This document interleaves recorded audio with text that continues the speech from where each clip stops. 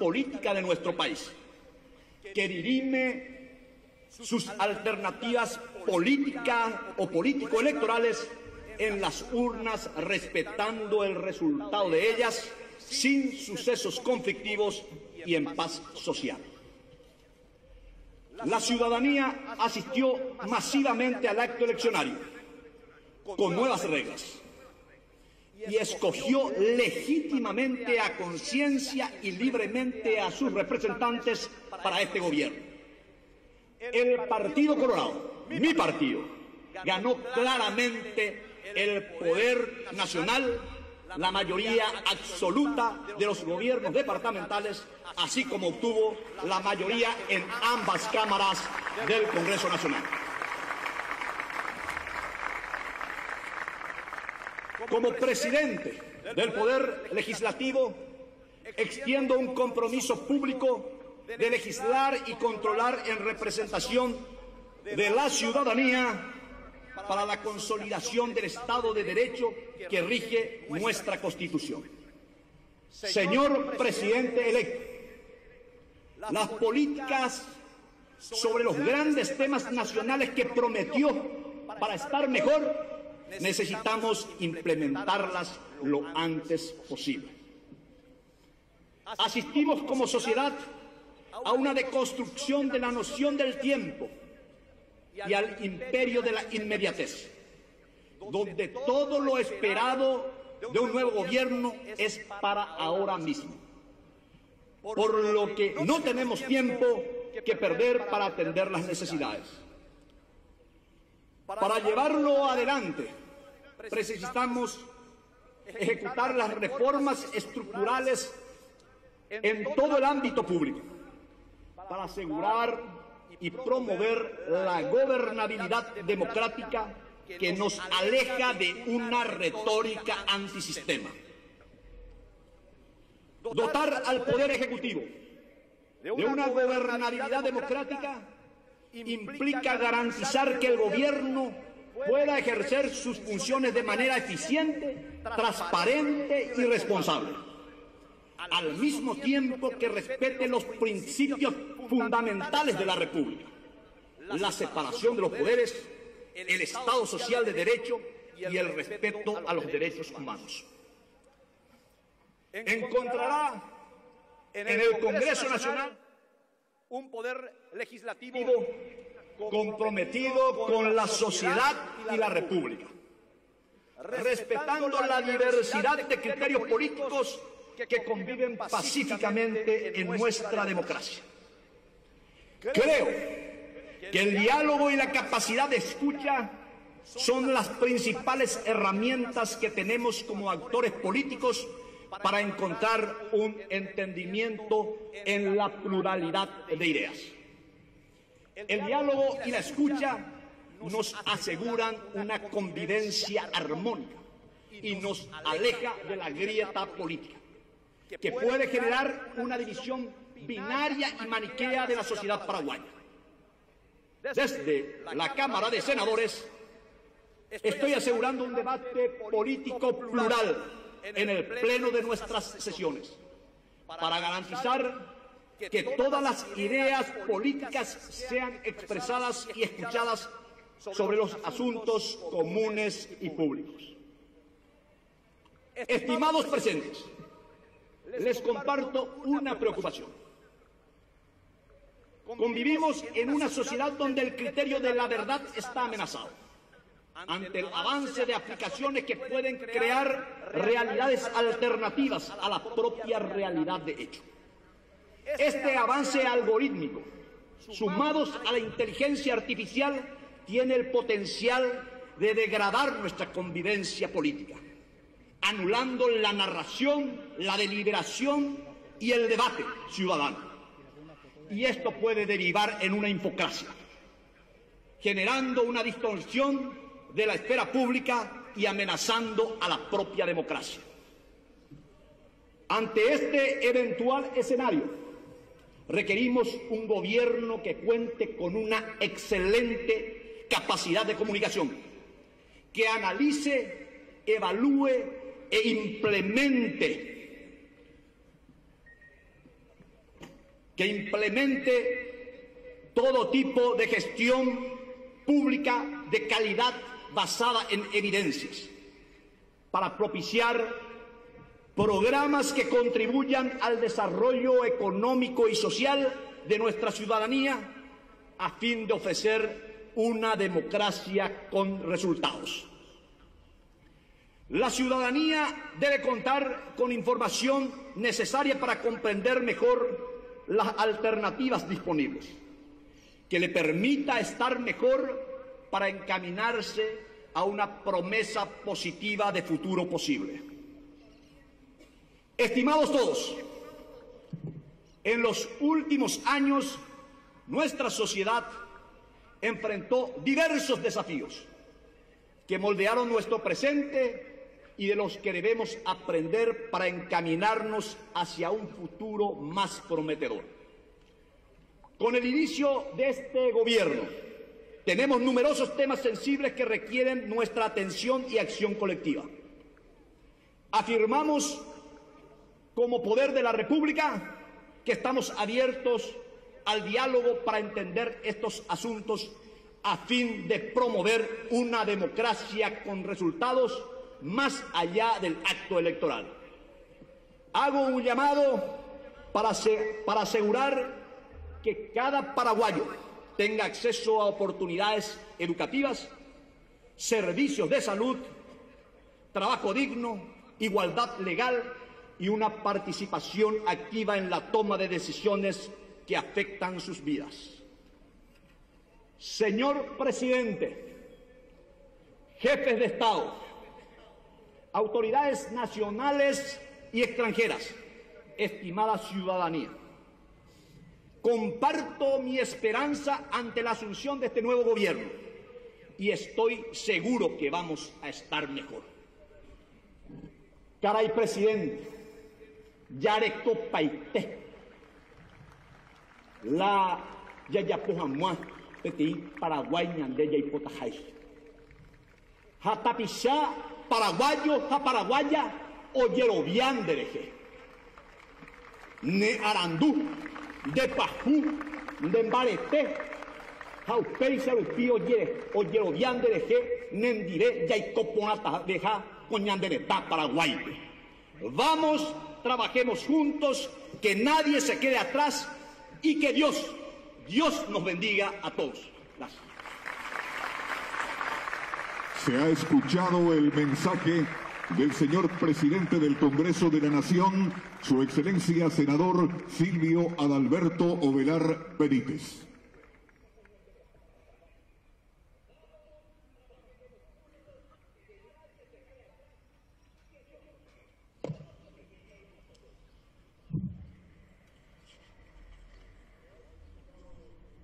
Invito al ciudadano Pedro Aliana a prestar el juramento constitucional de rigor en su carácter de vicepresidente de la República electa.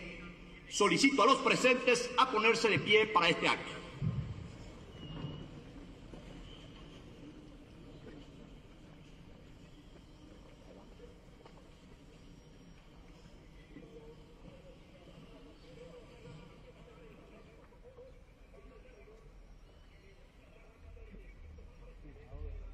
Acompaña al señor vicepresidente electo su señora esposa Fabiana Souto de Aliana.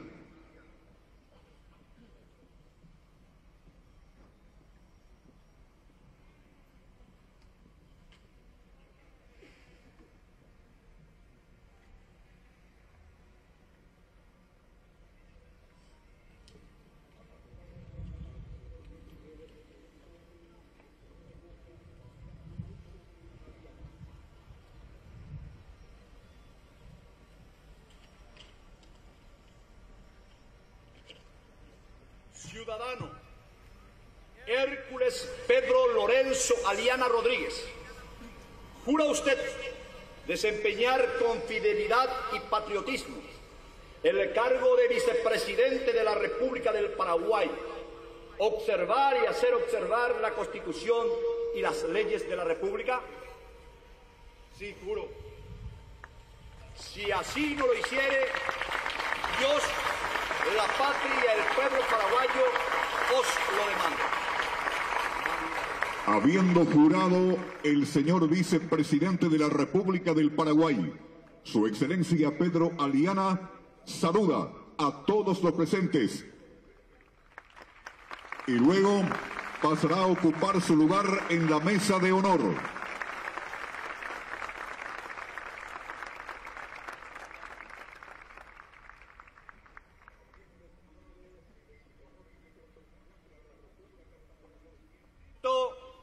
al ciudadano Santiago Peña Palacios a prestar el juramento constitucional de rigor en su carácter de presidente de la República del Paraguay electo.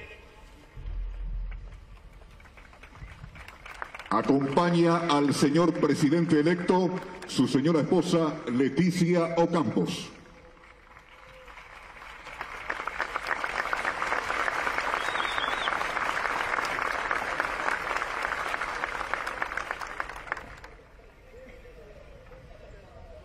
Ciudadano Santiago Peña Palacios, jura usted desempeñar con fidelidad y patriotismo el cargo de presidente de la República del Paraguay, observar y hacer observar la Constitución y las leyes de la República? Sí, juro.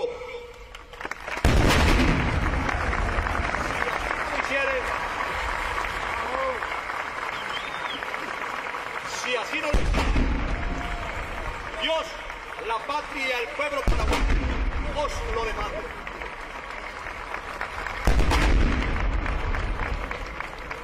el señor presidente del Congreso de la Nación impondrá la banda presidencial al señor presidente de la República, Santiago Peña Palacios.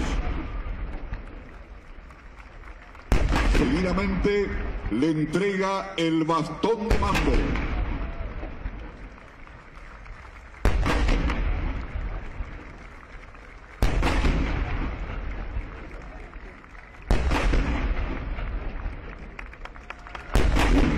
Con los atributos del mando presidencial, el excelentísimo señor presidente de la República del Paraguay, Santiago Peña Palacios, saluda al pueblo paraguayo.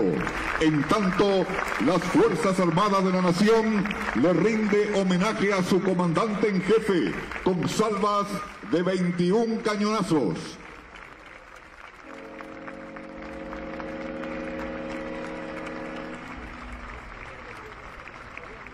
Escuchamos el sonar de las sirenas de las naves de la Armada Nacional. También repican las campanas de la Catedral Metropolitana y de la Iglesia de la Encarnación en este día histórico para la patria. Igualmente se visualiza el saludo de la Fuerza Aérea Paraguaya con sobrevuelo rasante de aviones.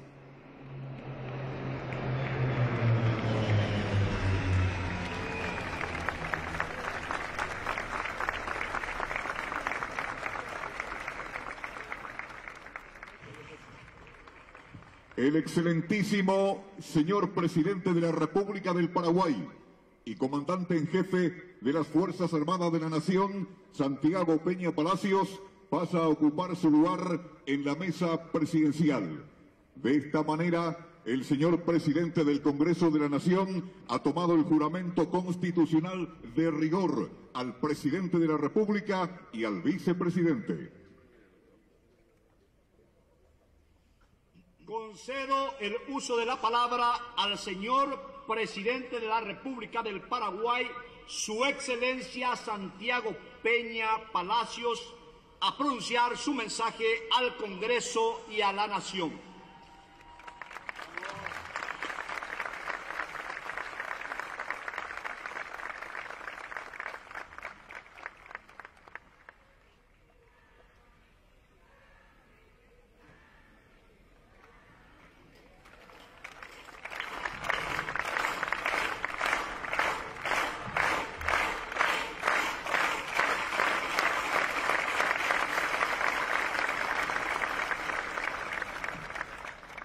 Su Excelencia, señor Silvio Velar, presidente del Congreso de la Nación, Su Excelencia, señor Hércules Pedro Lorenzo Aliana Rodríguez, vicepresidente de la República. Su Excelencia, señor César Dice, el presidente de la Corte Suprema de Justicia. Su Excelencia, señor Raúl Latorre, presidente de la Cámara de Diputados. Señores miembros del Honorable Congreso de la Nación, Su Majestad Felipe VI, Rey de España, Excelentísimo señor Luis Ignacio Lula da Silva, presidente de la República Federativa del Brasil, y señora, Excelentísimo señor Luis Lacalle Pou, presidente de la República Oriental del Uruguay, Excelentísimo señor Alberto Fernández, presidente de la República Argentina, Excelentísimo señor Gabriel Boris Font, presidente de la República de Chile, Excelentísimo señor Luis Arce Catacora, presidente del Estado Plurinacional de Bolivia, Su Excelencia señor William Chin Tet Lai, vicepresidente de la República de China, Taiwán, Su Excelencia señor Félix Ulloa, vicepresidente de la República del Salvador, señoras y señores jefes de delegación extranjera, autoridades nacionales, civiles, militares y eclesiásticas. Querido pueblo paraguayo, hoy es un día de fiesta. Celebramos la victoria de la libertad, celebramos la victoria de la democracia como herramienta para gobernar de manera justa y conveniente para todos, una herramienta para vivir en armonía. Cada cinco años, un 15 de agosto, celebramos la esperanza de un nuevo comienzo, un comienzo que nos acerque a la patria soñada que nos hablaba nuestro gran maestro y poeta Carlos Miguel Jiménez. Mi alma rebosa de gratitud hacia el pueblo paraguayo, que me ha otorgado su mandato de gobernar hacia todas y cada una de las personas que han participado de nuestro largo y vigoroso proceso electoral, demostrando alta madurez cívica y respeto a nuestras instituciones democráticas. A los que me han apoyado, a los que han elegido una opción diferente, a mis contendores ocasionales, les digo que cuento con cada uno de ustedes para contribuir en la construcción de consensos para el bien común. Gratitud a mi partido, que nació con la República, con la misión de reconstruir nuestra nación y promover el bien del pueblo paraguayo sobre la base de la igualdad, la justicia y la soberanía popular.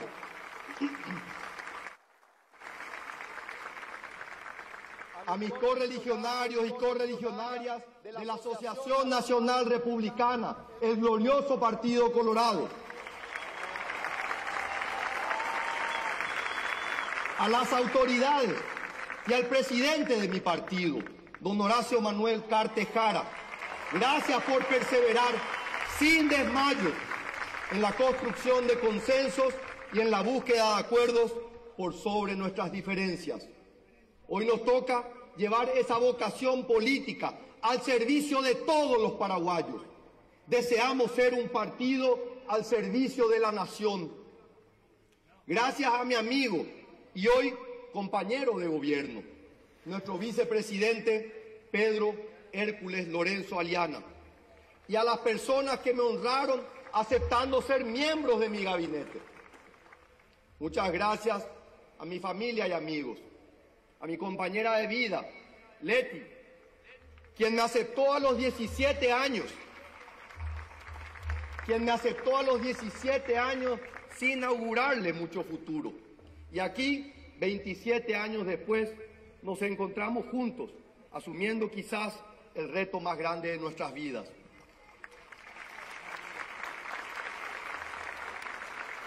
A mis hijos, Gonzalo y Constanza, quienes han sido desde su nacimiento mi mayor motivación para servir a mi patria. A mis padres, de quienes heredé la riqueza más grande, aquella que el dinero no puede comprar. Heredé el valor de la palabra, los principios y valores que me permiten día a día diferenciar el bien del mal. A mis hermanos que son amigos y a mis amigos que son hermanos, el amor, la paciencia y la contención que me han prodigado en estos tiempos de lucha cívica y sacrificio, los devolveré multiplicados convertidos en acciones para el bien de nuestro pueblo. Esta es una promesa de hijo, de hermano, de esposo, padre y presidente. A las personas que hoy nos acompañan y nos observan por los medios existentes de todos los sitios del país y del mundo. Muchas gracias. A Huillé.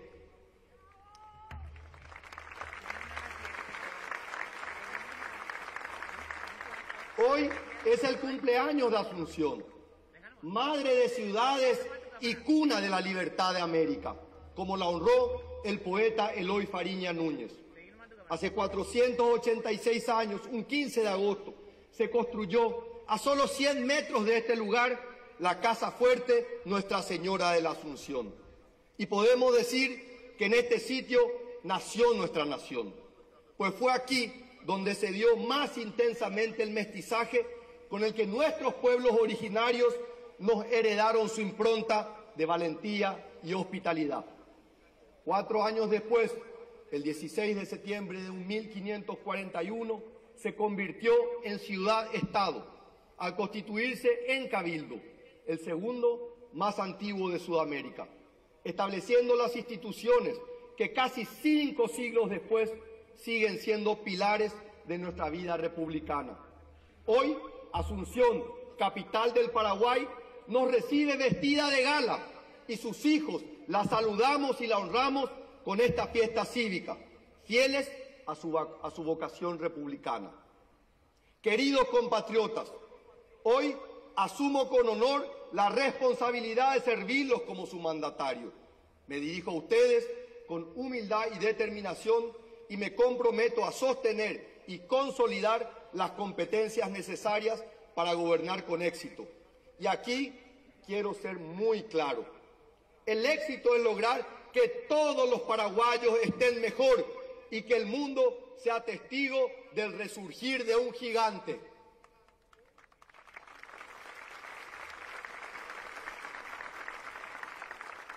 Me comprometo a ejercer un liderazgo firme y ético, basado en los principios de transparencia, integridad y servicio público. Pondré todo mi empeño para aspirar y motivar a nuestra nación hacia un futuro próspero y justo. Ya fuimos una nación grande y hoy estamos determinados a volver a hacerlo. Asumo la responsabilidad de liderar un gobierno con la certeza de que mi propósito es servir a nuestra patria y trabajar incansablemente por el bienestar de todos los habitantes. Juntos construiremos un futuro brillante y próspero para nuestro amado país.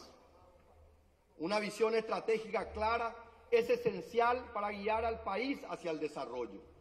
Trabajaremos incansablemente para construir una sociedad inclusiva, equitativa y unida, y donde cada ciudadano tenga la oportunidad de prosperar. Promoveremos la gobernanza participativa, involucrando a los ciudadanos en la toma de decisiones y creando políticas que respondan a sus necesidades. Adoptaremos un enfoque territorial en las políticas públicas para promover un desarrollo equitativo y sostenible en todo el país. Impulsaremos la descentralización de los servicios públicos, acercándolos a las comunidades y fortaleciendo la gestión local. Nuestro compromiso es construir una sociedad donde todos puedan prosperar. La capacidad de dialogar y la capacidad de alcanzar acuerdos políticos no son solo habilidades, sino actitudes indispensables para un liderazgo exitoso. Estableceré puentes de diálogo y cooperación con todos los sectores para lograr acuerdos que beneficien a nuestro país. Trabajaré por construir consensos que se basen en el bien común, superando aquello que nos divide. Necesitamos crecer en ciudadanía, pluralidad, tolerancia y democracia. Debemos luchar contra la ignorancia y la falta de oportunidades. Es hora de un pacto para alcanzar la calidad de vida que se merecen las familias paraguayas, donde el consenso sea una obligación para satisfacer las necesidades de los ciudadanos.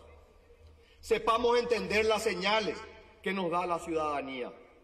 La paciencia y la tolerancia se agotan ante el altazgo de los ciudadanos que ven a sus líderes pelearse mientras faltan útiles en las escuelas, medicamentos en los hospitales y seguridad en las calles. A nivel internacional, tres desafíos globales generan tensiones geopolíticas. El acceso al agua, la seguridad alimentaria y la suficiencia energética. Al ser Paraguay una potencia en esos tres temas, estamos llamados a ser protagonistas en el concierto de las naciones. Nuestro subsuelo alberga la mayor reserva mundial de agua dulce, incluyendo el acuífero guaraní que compartimos con nuestros vecinos. Paraguay es proveedor mundial de alimentos, siendo uno de los pocos países del mundo capaces de producir alimentos para alimentar a nuestra población y a más de 100 millones de personas alrededor del mundo. En energía hidroeléctrica somos pioneros en la integración energética regional y hoy estamos decididos a avanzar hacia una mayor eficiencia y sostenibilidad energética. Construiremos alianzas y cooperación con una visión geoestratégica, buscando acuerdos horizontales. Nuestra relación con la República de China-Taiwán es una muestra de esto y del espíritu amigable y cooperativo de Paraguay con naciones a las que tenemos un gran afecto y con quienes nos sentimos no solo aliados, sino que también hermanos. Negociamos y seguiremos negociando con el mundo sin comprometer nuestra soberanía, nuestro territorio, nuestros valores o nuestra cultura. Nuestra política exterior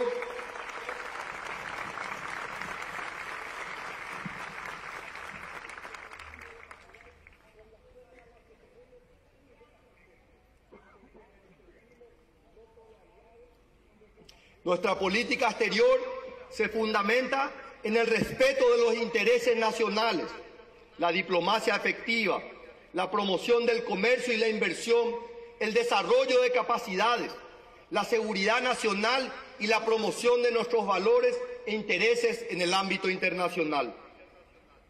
El cambio climático es real, es un gran desafío planetario y debemos tomar medidas rigurosas para evitar un mayor daño al planeta. Aunque nuestro país no ha contribuido de forma importante a la generación de gases de efecto invernadero, vemos con preocupación que algunas iniciativas, sin duda bien intencionadas, podrían obstaculizar nuestro desarrollo humano. El Paraguay es parte de la solución, por lo que priorizaremos un modelo de desarrollo justo, sostenible y sustentable en todos los aspectos, privilegiando nuestro medio ambiente, que es nuestro hogar y que con nuestra gente es nuestro capital más valioso. Paraguay se está convirtiendo en el centro logístico del corredor vial bioceánico sudamericano, lo cual convierte en una oportunidad nuestra centralidad geográfica y fortalece la integración con países vecinos y mercados del Pacífico. Este corredor comercial impulsará al Mercosur y la Alianza del Pacífico, promoviendo un mayor acercamiento entre ambos bloques. Además, por su intersección con la hidrovía Paraguay-Paraná, esta se convertirá en la forma más competitiva de transportar productos de diferentes países a los puertos del Pacífico, facilitando consensos para la gestión de la navegación fluvial. Paraguay está decidido a abandonar su antigua imagen de isla rodeada de tierra, como la describía nuestro premio Cervantes, don Augusto Roa Bastos, y convertirse en el centro de la integración sudamericana. Por eso, uno de nuestros principales objetivos estratégicos será contribuir a mejorar el funcionamiento del Mercosur. Veo aquí a los presidentes de Argentina, Brasil, Uruguay y Bolivia no puedo dejar de pensar que gestionar la hidrovía, los acuíferos, el corredor bioceánico, las hidroeléctricas y la navegación de nuestros ríos son delicados procesos de equilibrio entre la integración y la soberanía de nuestros pueblos. Somos conscientes de los progresos logrados en el camino de la integración, pero no podemos estar satisfechos y debemos avanzar con coraje y determinación. Somos la región del mundo con el mayor potencial de desarrollo, pero alcanzar ese desarrollo potencial solo podemos hacer trabajando todos juntos. La región también enfrenta otros desafíos estratégicos que no podemos ignorar y que requieren un enfoque regional. Tal es el caso de las redes criminales transnacionales, especial, en especial del narcotráfico y de la trata de personas. Debemos mejorar nuestros mecanismos de cooperación en términos de inteligencia, intercambio de información, entrenamiento de recursos humanos, compatibilidad de los sistemas informáticos e integración y agilidad en los controles aduaneros. Nuestra historia y nuestra vocación por la paz nos compela a agotar todas las instancias de diálogo, buscando soluciones pacíficas y constructivas para los desafíos que podamos enfrentar como nación integrada al mundo. Paraguay no estará ausente de la lucha por la paz en todos los rincones del planeta, incluido en el conflicto entre Rusia y Ucrania. Mantenemos vínculos económicos, culturales e históricos con el pueblo de Rusia, pero no podemos permanecer indiferentes ante la agresión bélica que sufre el pueblo ucraniano, con consecuencias terribles para el desarrollo humano.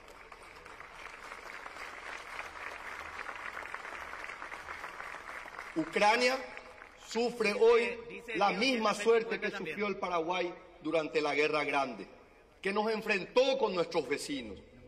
Fuimos invadidos por potencias más grandes y como consecuencia perdimos el 60% de nuestro territorio y al 90% de la población masculina. Ese conflicto ha dejado secuelas muy severas que las sentimos hasta el día de hoy. A 153 años de, la, de concluida la guerra, seguimos nuestro proceso de recuperación. Creemos en el diálogo y no en la fuerza como mecanismo para solucionar cualquier controversia. Con humildad, pero con mucha convicción, instamos a todas las partes involucradas en este conflicto a detener de inmediato las acciones militares para evitar más víctimas y daños. Apoyamos las iniciativas de paz impulsadas tanto por Brasil, país hermano y aliado estratégico, así como por el Papa Francisco, a quien tuvimos el orgullo de tener de visita en el 2015 y cuya conmovedora presencia aún inspira a todos los paraguayos. Como líder político, estaré atento a las tendencias globales y a los desafíos emergentes que puedan afectar a nuestra nación. Tomaré decisiones informadas y estratégicas para salvaguardar los intereses de Paraguay y promover su desarrollo sostenible en un mundo en constante cambio. Una gestión efectiva es esencial para lograr resultados que se sientan en los bolsillos y en las mesas de las familias paraguayas.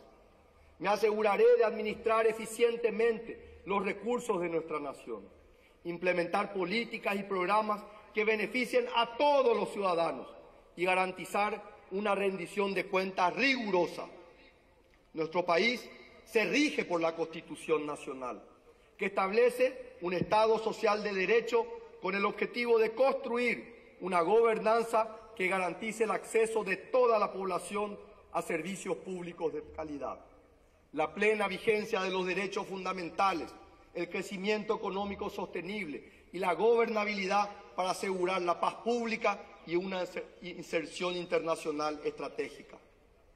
Me he comprometido ante la campaña a involucrarme personalmente en la modernización de nuestra gestión educativa, a identificar prioridades y urgencias y asignarle los recursos necesarios de manera oportuna, a mejorar la calidad de vida de nuestros docentes para que ellos, con toda su fuerza, impulsen los cambios que nos permitirán entregar a nuestros hijos una educación de calidad, a dejar de hacer remiendos en infraestructura obsoleta y construir verdaderos centros de excelencia educativa en cada distrito del país, a dejar de usar a la educación como la eterna excusa de nuestras deficiencias mientras poco o nada hacemos para mejorarla, a utilizar la cooperación internacional para apuntalar nuestros propios proyectos de soluciones educativas y no para experimentar con ideas foráneas o enlatadas que solo distraen esfuerzos.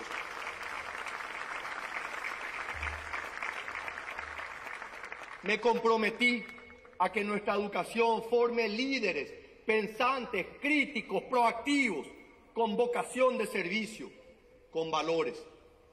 Vamos a diseñar soluciones integrales e integradoras, adaptadas a las necesidades específicas de nuestro extenso y diverso territorio, pero procurando siempre la equidad en el acceso de nuestros estudiantes a los saberes y habilidades que mejoran la calidad de vida y que solo una buena educación puede brindar. Para que esa mejora educativa sea realidad, necesito el involucramiento de las familias, de los estudiantes, de los docentes y de las autoridades locales. Sé que cuento con ese apoyo para lograr este sueño de todos. En salud vamos a hacer las cosas bien. Una sala de terapia intensiva puede salvar vidas, pero también puede ser el negociado de un mal gobierno y la causa de esa tensión de las verdaderas necesidades de la gente por el mal uso de los recursos. Eficiencia y transparencia en el uso de los recursos para atender mejor a nuestra gente. Puesta a punto de infraestructura y equipamiento de los centros de atención médica integral en cada distrito. Énfasis en la prevención y en la atención oportuna de las dolencias. Basta de largas listas, filas de espera, agendamientos interminables, equipamientos que no se usan por falta de insumos, de mantenimiento o de personal. En salud, los errores se pagan con vidas. Por eso no habrá una segunda oportunidad para los que fallen. En seguridad,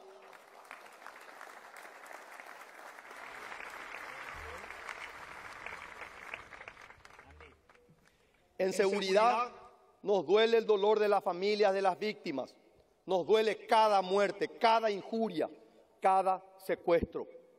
Nuestra respuesta inmediata será tan simple como efectiva, más efectivos en las calles, menos en las oficinas.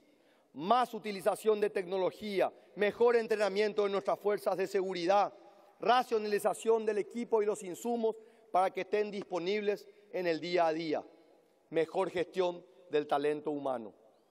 En materia de lucha contra el terrorismo, contra el flagelo de las drogas, la trata de personas, el lavado de dinero y sus delitos conexos, nuestra principal instrucción a todas las dependencias es la integración de esfuerzos con la Fiscalía General del Estado y la justicia.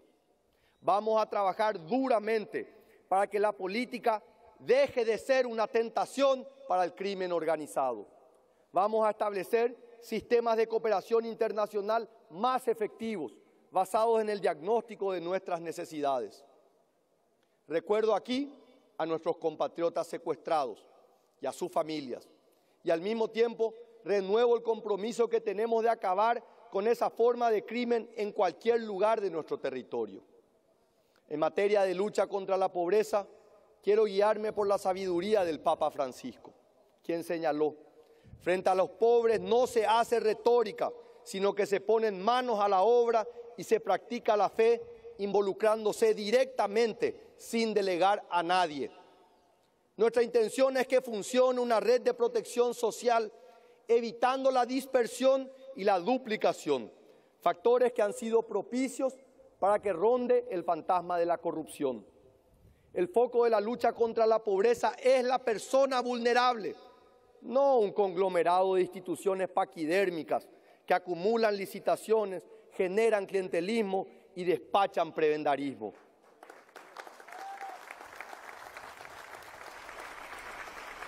Cuanto más focalizado, efectivo y recto sea el camino, la ayuda llegará con más efectividad a las personas más vulnerables. El objetivo final no es mantener a compatriotas en la vulnerabilidad, sino apoyarles en la mejora de su calidad de vida y de su capacidad de progresar por sus propios medios. En materia de políticas económicas, las personas no nos guiamos por los indicadores macroeconómicos sino por el dinero en el bolsillo, por las oportunidades de acceder a un mejor empleo, por las posibilidades de ahorrar e invertir en comodidades para nuestra familia o en un futuro mejor para nuestros hijos. La clave para que el crecimiento económico llegue a la gente es el acceso a un empleo de calidad, que no solo brinde seguridad social, sino que ofrezca oportunidades de desarrollo y bienestar para los trabajadores. Necesitamos generar por lo menos 500 mil nuevos empleos de calidad para atender la demanda de la población y el crecimiento anual de nuestros ingresantes a la fuerza laboral. Desde el gobierno vamos a promover la creación de estos puestos de trabajo en el sector privado, lo que supone un gran esfuerzo de coordinación interinstitucional y territorial y de articulación con el sector productivo. El recientemente creado Ministerio de Economía será el responsable de formular, coordinar y supervisar las políticas económicas del Estado, con el objetivo de promover el desarrollo económico sostenible y la generación de empleo, impulsar la competitividad y la productividad de los diferentes sectores económicos y establecer medidas para la protección de los consumidores. En materia de políticas económicas, no somos ni seremos un centinela sentado sobre la caja fuerte. Si fuera así, apenas empataríamos al final de la gestión. Seremos generadores creativos de factores como el incentivo a las industrias, a la erradicación de inversiones, las innovaciones tecnológicas, la empleabilidad y productividad laboral para lograr el gran salto económico que nuestra población se merece.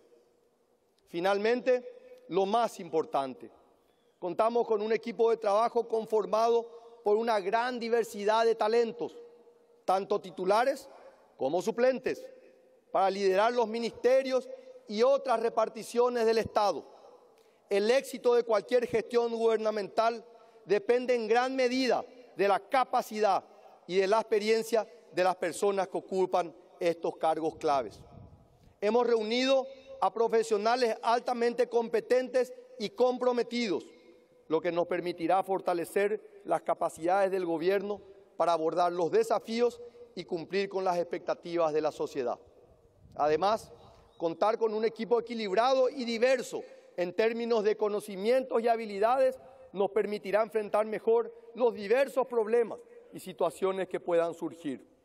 Confío en el éxito de mi equipo de trabajo, resultado de una difícil, cuidadosa y rigurosa selección de talentos para garantizar un desempeño óptimo en la administración pública. Comparto mi fe, mis convicciones y los valores que guiarán mis acciones como mandatario del pueblo paraguayo. Soy un convencido de que los problemas de la democracia se arreglan con más y mejor democracia, que los problemas de incapacidad o ausencia del Estado se arreglan con mejores políticas públicas, contando con el capital humano y las reglas e instituciones que aseguren estados capaces de brindar los bienes públicos esenciales, seguridad, justicia, educación, salud, infraestructura física y social y cuidado del medio ambiente. En particular, tengo la convicción de que los problemas de corrupción se resuelven con una justicia independiente, imparcial y rápida, con recursos suficientes para garantizar una administración adecuada y homogénea en todo el territorio nacional. Y con una decisión política clara, contundente e inquebrantable, como la que tiene este presidente para implementar políticas públicas pro transparencia que han sido exitosas en otros países y que nos permitirán mostrarle al mundo y a nosotros mismos que Paraguay está mucho mejor de lo que lamentablemente transmiten algunos relatos.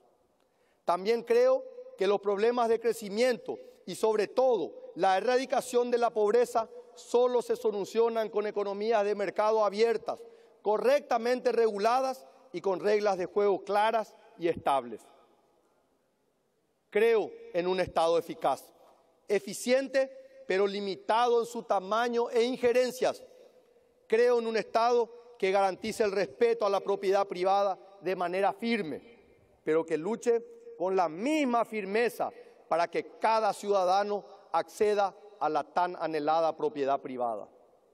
Considero que la mejor política social que existe es el crecimiento económico sostenible, generando oportunidades de empleo formal, decente y bien remunerado. Creo fervientemente en la importancia de la competitividad, en el desafío de aumentar la productividad y en darle a todos nuestros ciudadanos la posibilidad de desarrollar sus proyectos de vida con estabilidad y previsibilidad. Queridos compatriotas, asumo el compromiso de mantener y consolidar las competencias necesarias para gobernar con éxito para ustedes. Trabajaré incansablemente por el bienestar de nuestra nación, acompañado por un equipo de primer nivel, guiado por una visión estratégica, liderazgo sólido, gobernanza participativa y habilidades de negociación efectivas. Juntos construiremos un Paraguay mejor, con prosperidad y justicia para todos.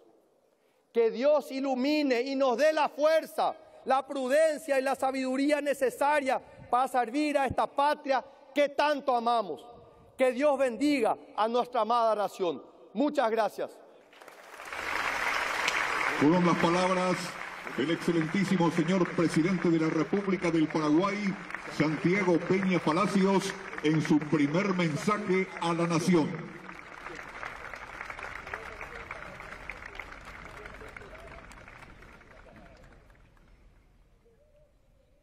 Pueden tomar asiento. Muchas gracias.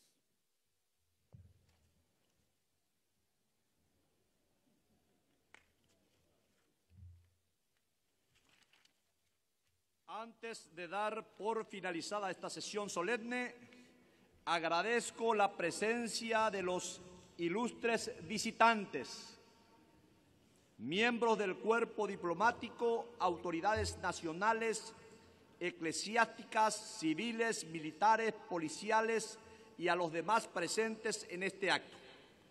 Culminada esta convocatoria, declaro levantada la sesión solemne del Honorable Congreso de la Nación. Dios bendiga a la patria.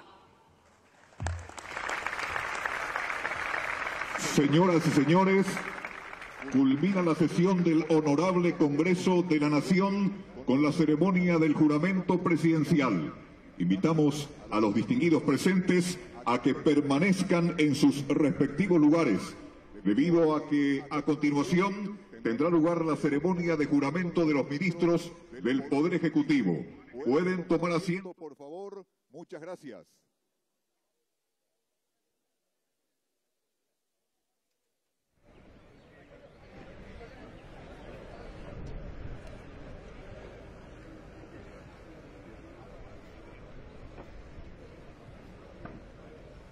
Por favor, tomar asiento.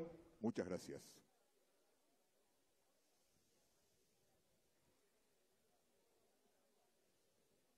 Señoras y señores, se llevará a cabo la ceremonia de juramento de gabinete de ministros del Poder Ejecutivo. Tomen asiento, por favor. Muchas gracias. Ante la escribana mayor de gobierno, Ana María Subizarreta. Se encuentra presente el asesor jurídico, doctor Roberto Moreno. Decreto número uno del Poder Ejecutivo, por el cual se nombra al señor Enrique Riera Escudero como ministro del Interior. Asunción 15 de agosto de 2023.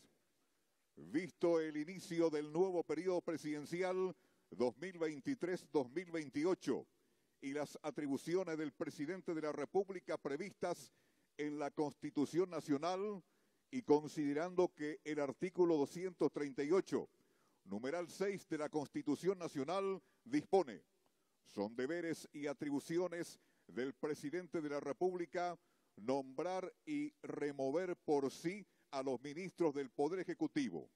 Por tanto, en ejercicio de sus atribuciones constitucionales, el presidente de la República del Paraguay decreta artículo primero Nómbrase al señor Enrique Riera Escudero como ministro del Interior.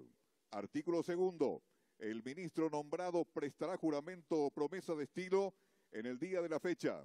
Artículo tercero. Refréndese por el ministro aquí designado. Artículo cuarto. Comuníquese, publíquese e insértese en el registro oficial. Decreto número dos por el cual se nombran ministros del Poder Ejecutivo. El presidente de la República del Paraguay decreta, artículo primero, nómbrase al señor Rubén Darío Ramírez Lescano como ministro de Relaciones Exteriores. Artículo segundo. Nómbrase al señor Carlos Fernández Valdovinos como ministro de Hacienda. Artículo tercero. Nómbrase al señor Luis Fernando Ramírez Silva como ministro de Educación y Ciencias. Artículo cuarto. Nómbrase al señor Carlos Alcibiades Jiménez Díaz como ministro de Agricultura y Ganadería. Artículo quinto. Nómbrase a la señora Claudia María de la Paz Centurión Rodríguez como ministra de Obras Públicas y Comunicaciones.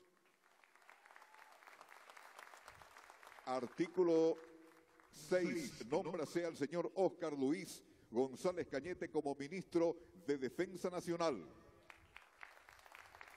Artículo séptimo. Nómbrase a la señora María Teresa Barán Wasilchuk como ministra de Salud Pública y Bienestar Social. Artículo 8. Nómbrase al señor Ángel Ramón Barchini Civils como ministro de Justicia.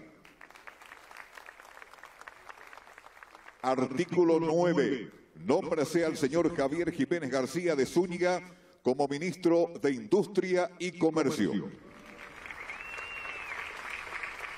Artículo 10. Nómbrase a la señora Cintia Carolina Figueredo Arriola como ministra de la Mujer.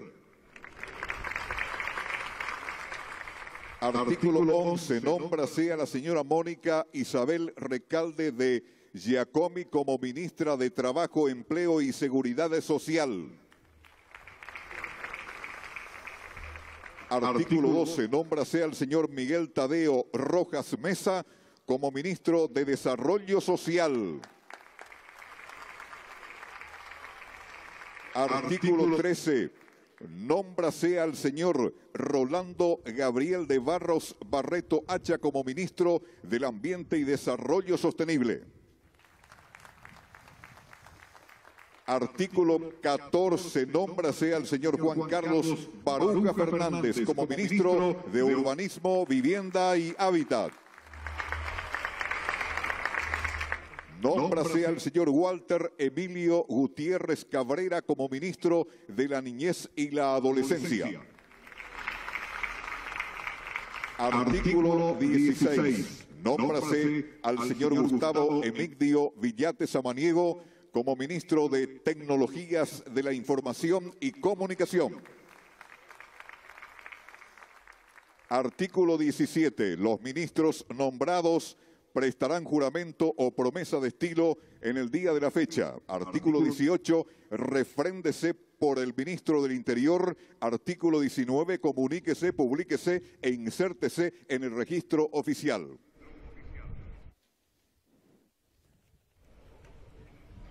Señoras y señores, la firma del acta de juramento por parte de la escribana mayor de gobierno.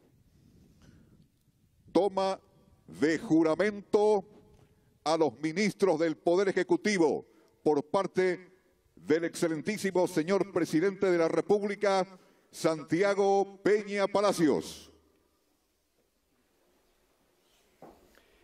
Ciudadanos, Enrique Riera Escudero, Rubén Darío Ramírez Lescano, Carlos Fernández Valdovinos, Luis Fernando Ramírez Silva, Carlos Alcibiades Jiménez Díaz, Claudia María de la Paz Centurión Rodríguez, Orca Oscar Luis González Cañete, María Teresa Barán, Ángel Ramón Malchini, Javier Jiménez García de Zúñiga, Cintia Carolina Figueredo Arriola, Mónica Isabel Recarle de Giacomi, Rolando de Barros Barreto, Miguel Tadeo Rojas Mesa, Juan Carlos Baruja Fernández, Walter Emilio Gutiérrez Cabrera, Gustavo Emigdio Villate Samaniego. Juran desempeñar con fidelidad y patriotismo el cargo de ministros del Interior, de Relaciones Exteriores, de Hacienda, de Educación y Ciencias, de Agricultura y Ganadería, de Obras Públicas y Comunicaciones, de Defensa Nacional, de salud pública y bienestar social, de justicia, de industria y trabajo, de la mujer, del trabajo, empleo y seguridad social, del ambiente y desarrollo sostenible, del desarrollo social, del desarrollo social, de urbanismo, vivienda y hábitat, de la niñez y la adolescencia, de tecnologías de la información y comunicación respectivamente, observar y hacer observar la constitución y las leyes. Si así no lo hicieren, que Dios, la patria y el pueblo paraguayo se lo demanden. A continuación, el saludo protocolar de los ministros del Poder Ejecutivo al excelentísimo señor presidente de la República, Santiago Peña Palacios.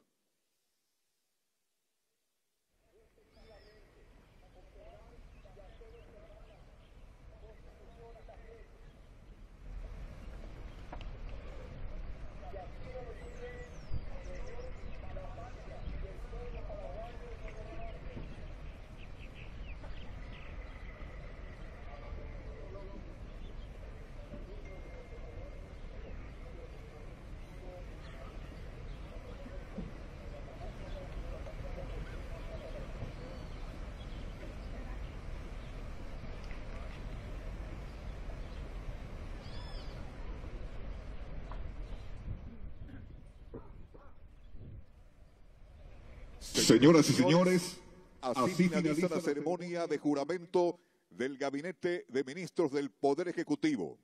A todos por su presencia, muchas gracias, muy buenos días, Dios bendiga al Paraguay.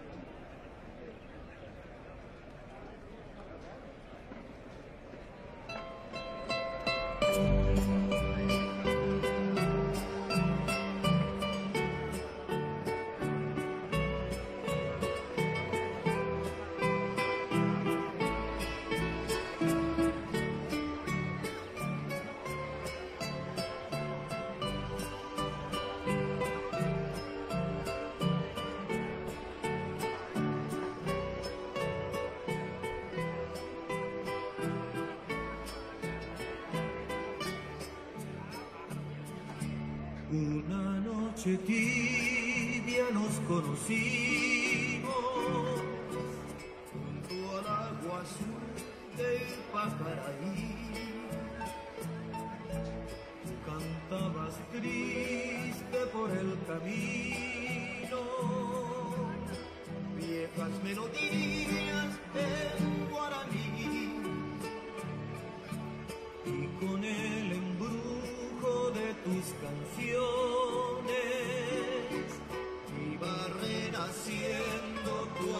En mí. Y en la noche hermosa de plenilunio de tus blancas manos sentí el calor que con sus caricias me dio el amor.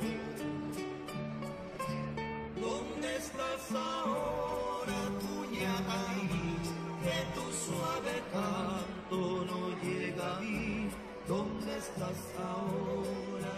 ser añora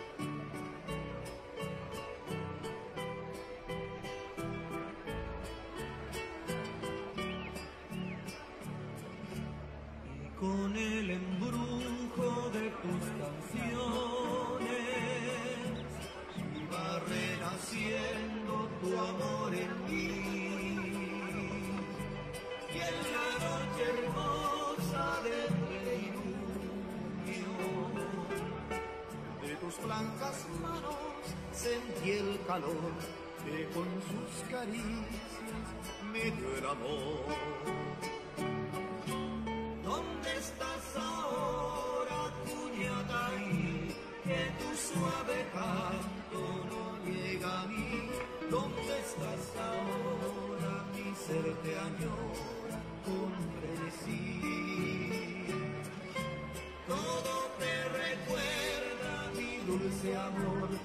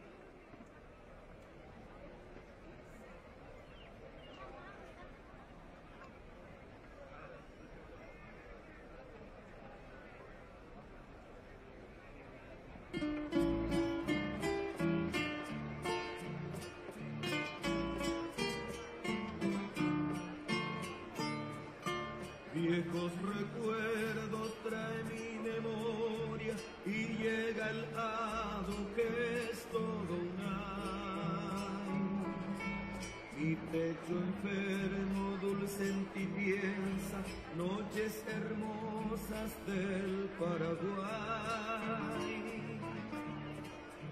Huérfano incierto, sigo la ruta, triste tragedia de mi pesar. Mas nada pasa, mi alma se enluta, sueño en las noches del Paraguay.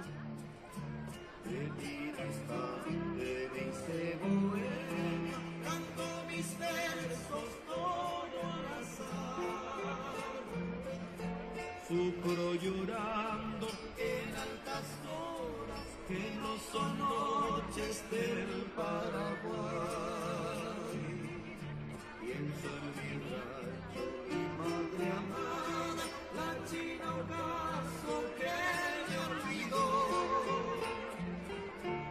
Viendo constantes bellos reflejos de aquella luna que no me oyó.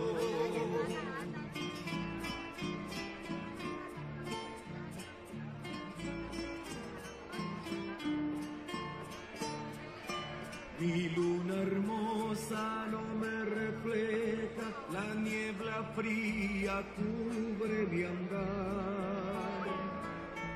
No son tus cantos menos tus luces, radiante luna del Paraguay. Recuerdo todo de aquellos días, de los amores que allá dejé mis ilusiones, la prometida, la amada buena de mi niñez. Del distante dice bueno, canto mis versos todo al azar. Sufro llorando en altas horas que no son noches del Paraguay. Pienso en mi rancho, mi madre amada, la china ocaso que Viendo constantes bellos reflejos de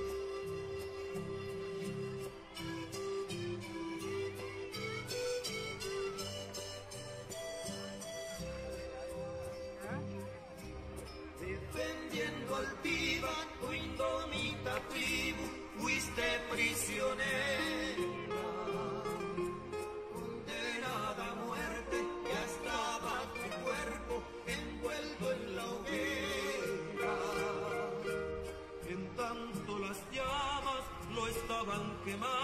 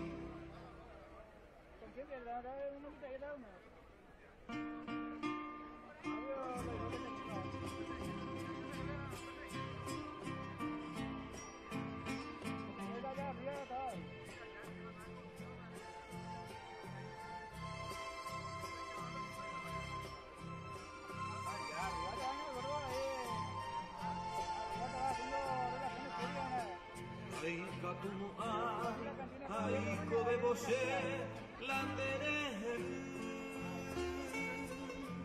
Kakawenditere ikante mase ahai korei Horas horas sembotaro baka dereje a pensar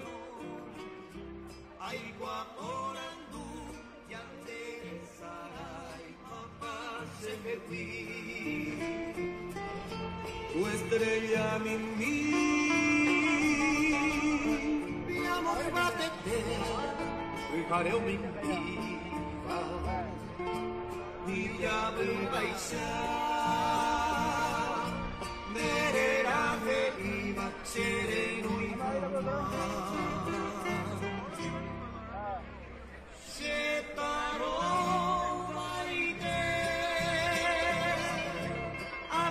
negro peca cuando lo topas. Desalmante, coisa en brasileño se consola paz.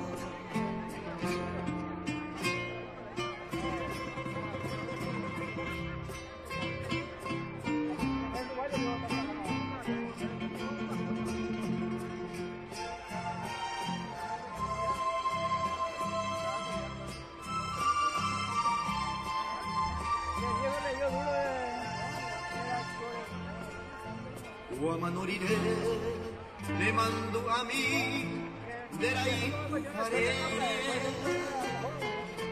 de que vive ella en boque mi anianga pena Pues ahí te embae ningún se haya por por a pere de veros hay cubi copa y temba ewi sere sarai pa tu estrella mi mi amor batete fijaré o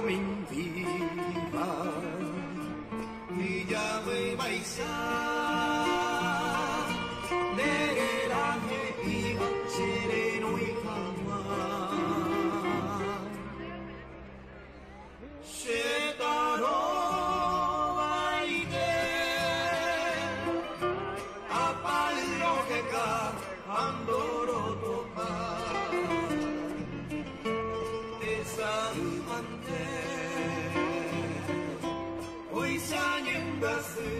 brasero se consola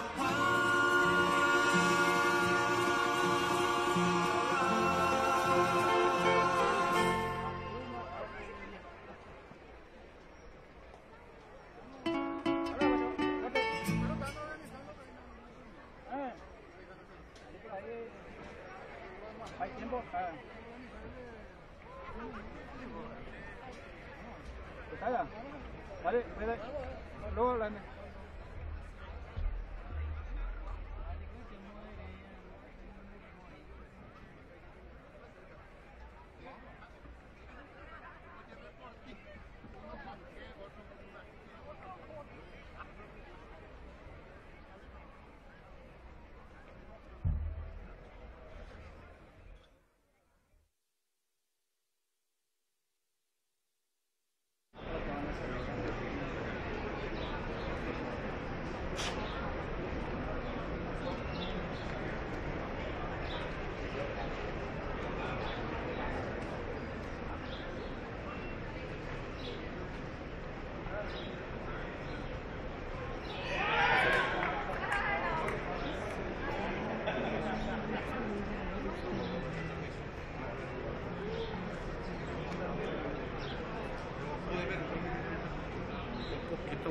al aire ya, está, está todavía al aire.